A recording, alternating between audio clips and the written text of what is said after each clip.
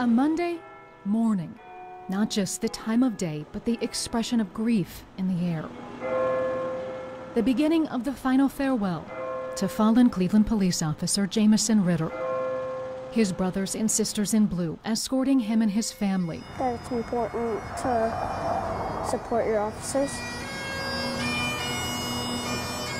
We uh, lift up our prayers and our thoughts and want to give them a big hug if we can. As community members like Doris Peters stand in solidarity. This is the best way we can show our support is just being here with the flags and letting them know that they're not alone.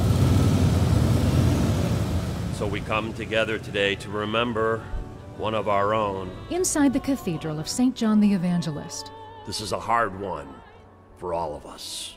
Officer Ritter's life was remembered and celebrated by those who knew and loved him. Jamieson possessed one of the most important qualities that someone can have, and that is humility. He had a servant's heart. The 27 year old not only served the city of Cleveland, but his country as an Army reservist, most recently deploying to Syria. He was the person you want to see when the world was coming down around you.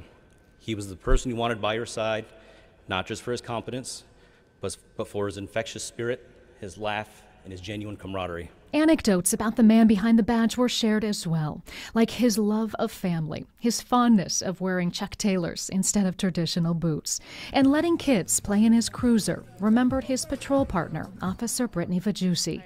Just last month, the pair was honored for saving a man's life. In his short 27 years on this earth, he has touched more lives than anyone I can imagine. Police Chief Annie Todd said Officer Ritter made our city better. He was not just an officer, he was a guardian of our community, a beacon of hope, and a symbol of strength.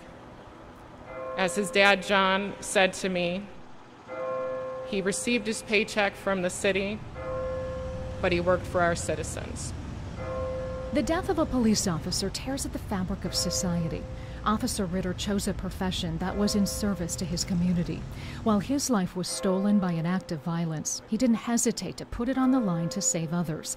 And for that sacrifice, the community is in debt and grieves alongside his family. To the Ritter family, thank you for sharing Jamieson with us.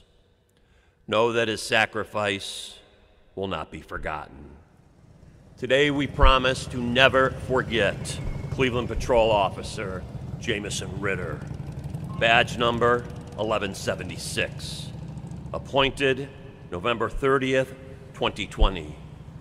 End of watch, July 4th, 2024.